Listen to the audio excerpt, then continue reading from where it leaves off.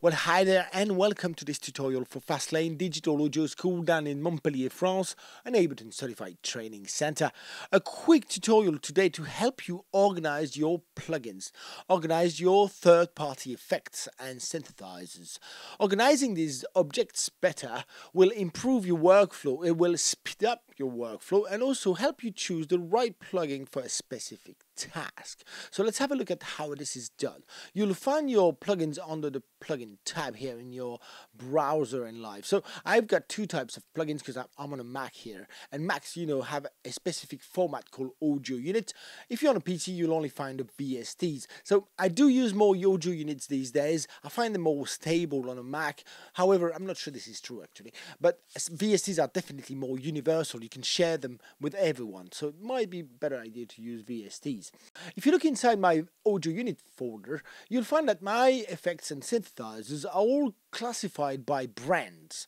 And that's just not very convenient all right? Mostly if you look at for instance universal audio there's hundreds of plugins here. I can only use about 10 of them.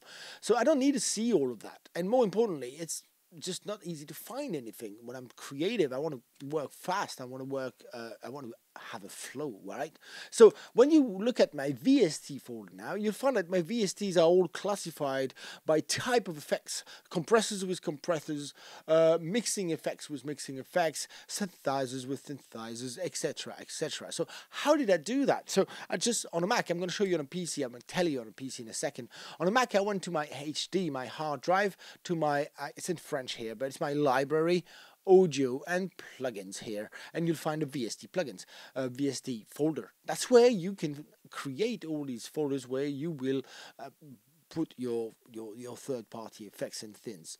Um, so that's where Live gets these folders from, and it's just quick to do.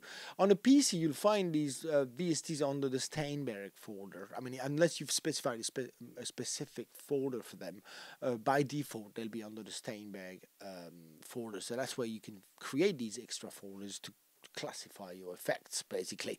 So that's well and good. It can be a good trick and I'm sure some of you knew that trick. However, I find these new collections here on the top left corner of my browser way easier to use. Look, instead of uh, sticking these my samples or my uh, synths patch in there, which I, I did at first, I find in fact that using these collections to bring my effects into that is way more convenient. So here I've got all the compressors. I also have all the racks I use for compression. I've got my EQs. I've got some presets I use to write a, a quick idea down. I've got some space effects for reverb, delays, etc. I've got all the creative effects and, and racks. I've got all my synths and the favorite synths.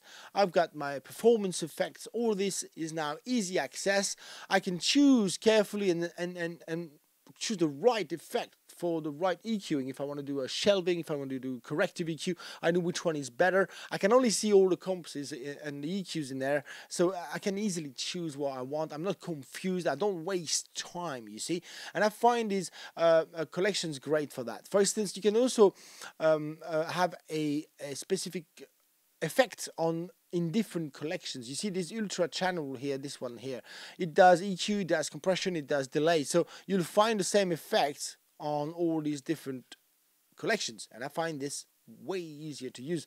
Now to, to bring a an effect into a collections it couldn't be simpler you just find the effect here in their uh, plugin tab and then when you've got it you just uh, grab it and drop it into the collection you want to put it into. And that's how you find them back.